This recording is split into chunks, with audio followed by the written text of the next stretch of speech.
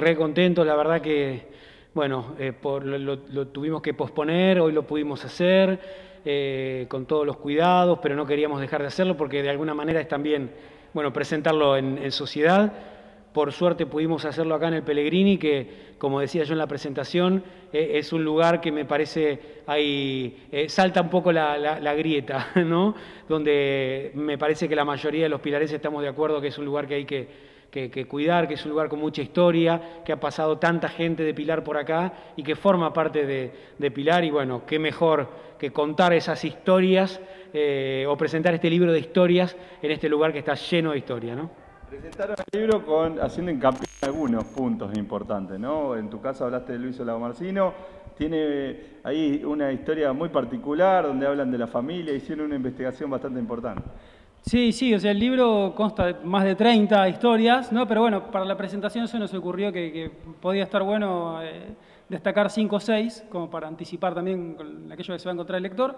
Una entre todas las que hablamos fue la de Luis Olago Marcino, ¿no? Aquel caudillo, ¿no? el, gran eh, ícono de la política pilarense, todavía omnipresente, ¿no? En, calles, en lugares, en edificios, en una localidad que lleva su nombre. Este, así que sí, la, vida de novela de Luiso fue una de las, de las historias. Y como decías vos, sí, la investigación fue, fundamental a lo largo de, toda la elaboración del libro, eh, no solamente para el caso de las biografías, sino también para hechos emblemáticos, la historia de los lugares de Pilar y, demás. Fue un trabajo de investigación que nos llevó bastante tiempo y que reforzamos más aún cuando, cuando ya nos decidimos a convertir en libro todo este material con el que contábamos. Vos hablaste de Tibor Gordon, alguien que también, el que Pilar, le llama la atención y se acuerda de muchas historias. No, porque además, viste que hay, hay historias que por ahí se agotan más rápido. A, Tibor yo vengo juntando cosas y fotos y relatos y desde hace, te diría, 20 años, ¿no? Eh, y cada vez que me pongo a investigar y aparece algo nuevo, y entonces, bueno, que, te das cuenta que indudablemente la, eh, hay personajes que, son riquísimos, lo de Tibor, y quedó, bueno, como en el caso de Luiso, muchísimo afuera, pero eh, descubrí también yo cosas que, desconocía, eh, bueno, y ahora están sus herederos por acá por la zona, entonces, bueno, probablemente también siga, siga formando parte de, futuras historias, pero bueno, me parece un personaje también de, un mundo distinto, de un mundo que era artesanal, un poco más naif, si se quiere, en ese momento, pero apasionante, ¿no? Porque siempre el tema de, la fe, de las creencias y eso me, me llamó mucho la atención, ¿no? Se habla también de secretos, eh, de cosas que hay dando vuelta, el tema de poner el túnel entre el verbo y el colegio de hermanas. Hay muchas cosas que también, eh, cosas que quedaron en la historia de los pilarenses que muchos lo saben. Claro, por eso siempre enfatizamos desde un principio ¿no? que es un libro de historias, no es un libro de historias, no de historia, porque también está ese anecdotario ¿no? riquísimo que tiene, que tiene Pilar alguna, algún mito, ¿no? como el del supuesto túnel que une esas dos escuelas, ¿no? el verbo divino y el, más, el divino pastor, eh, todavía no confirmado, pero bueno, leyenda al fin. Eh, hechos, porque no sobrenaturales, no recordados, como cuando vino Nueve Diario por la aparición de supuestos enanitos verdes en un descampado del barrio Villaverde. Eh, historias de fantasmas también de Pilar, ¿no? Todo, como todo pueblo tiene sus lugares este, supuestamente embrujados, así que quisimos mechar ¿no? lo, que era más, este, lo que era más dato duro, ¿no? como la biografía, la fecha y demás, con lo que tiene que ver con, las historias, ¿no? con, lo que te cuenta algún vecino en la calle, con lo que te cuenta un amigo, eh, con lo que puede salir de una reunión, ¿no? de tanta gente querida que nos fue contando este, sus vivencias como pilarenses de hace muchos años atrás o de, la actualidad, pero bueno, todo eso formó parte de, estas historias, ¿no?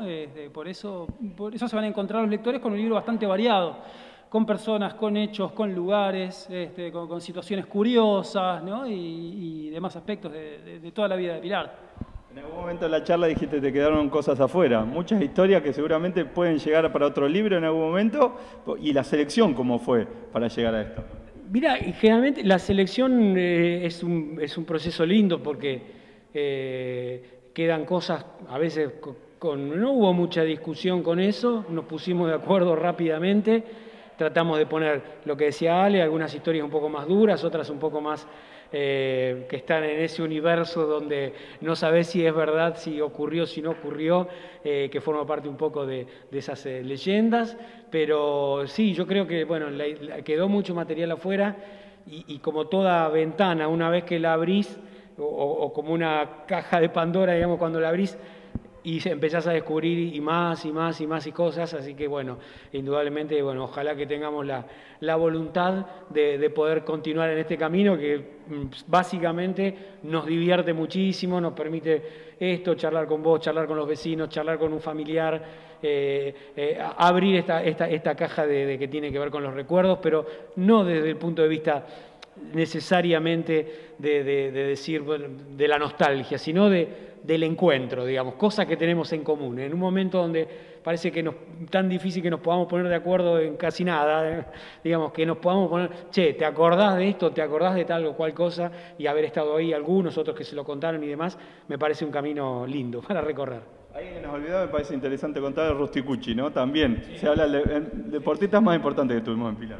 El deportista más importante, de hecho, también nombramos ¿no? siempre el Pellegrini como omnipresente en Pilar. Bueno, Rusticucci es un alumno del Instituto Pellegrini, pero como, como bien decís, un, un vecino común eh, que fue a cinco Juegos Olímpicos, eh, fue el mejor en lo suyo en el país. Y uno siempre piensa, ¿no? ¿A, a qué hubiese llegado si viviera en un lugar en el, que, en el que hubiesen valorado lo que hacía, lo hubiesen apoyado económicamente, hubiese vivido de su disciplina, el tiro, ¿no? porque él clasificaba los Juegos Olímpicos y después eh, competía contra tipos que vivían de eso, contra profesionales del primer mundo, cuando él no sabía si cuando volvía a Pilar tenía trabajo. Un par de veces lo echaron del trabajo por ir a un Juego Olímpico. Eh, un vecino al que uno se lo cruzaba, un personaje entrañable, humildísimo, el que te lo cruzabas y te contaba alguna anécdota de algún juego, cuando se cruzó con algún atleta, cuando compitió en tal lugar, ¿no? Pero bueno, un, pilarense muy querido y, él y tantos otros, ¿no? Creo que merecían este, ser plasmados en, una obra eh, y, también el libro tiene mucho de, acto de justicia. Con un montón de vecinos, como en el caso de, Ricardo Rusticucci, que lamentablemente ya no están, pero... Eh, merecían, merecían eh, no caer en el olvido ¿no? o quedar solamente en la palabra hablada que en algún momento se termina. Eh, la idea era plasmarlo y que quede para la posteridad, ¿no? que las nuevas generaciones, este, no nosotros, sino dentro de muchos años, sepan que existió gente como Rusticucci y tantos más que aparecen nombrados en el libro. Sin celular, ¿no? Pues no tenía celular. sí, sí. No, ojo que él no, no se vanagloriaba de eso, ¿eh? no es que él estuviese orgulloso. Eh, de hecho, cuando hicimos la nota se enojó un poco. Me hacen quedar como un ermitaño.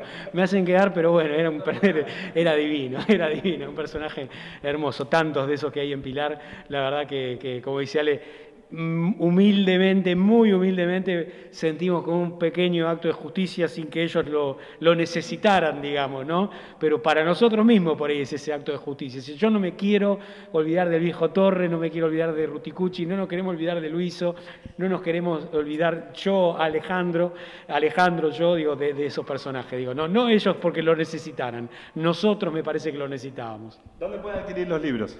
El libro. El libro puede ser venta directa, este, tenemos, eh, hemos abierto canales en redes sociales donde tenemos posteando material, que es en Instagram, eh, arroba Pilar un libro de historias, y en Facebook se llama igual que el libro, Pilar un libro de historias. Y a su vez también eh, está por ahora, después seguramente iremos ampliando, en la librería Todo Libro de la calle Tuzaingó, en locales como Casa Aventura, en la avenida Márquez, Matilde, en la calle Pedro Lagrave al 600, y el kiosco Bubblegum en Pedro Lagrave, también al lado de Matilde, y el local de mi tierra, eh, en La Grave y, Paraná. mucha gente incluso, que, muchos de los que nombré no son librerías, pero mucha gente que, eh, voluntariamente ¿no? y desinteresada nos dijo, si quieren vendemos el libro acá y la venta va bastante bien en locales que no tienen nada que ver con la literatura. Pero la gente va, compra una remera, una comida, lo que fuera y dice un libro sobre la historia de Pilar y, y se lo lleva. Música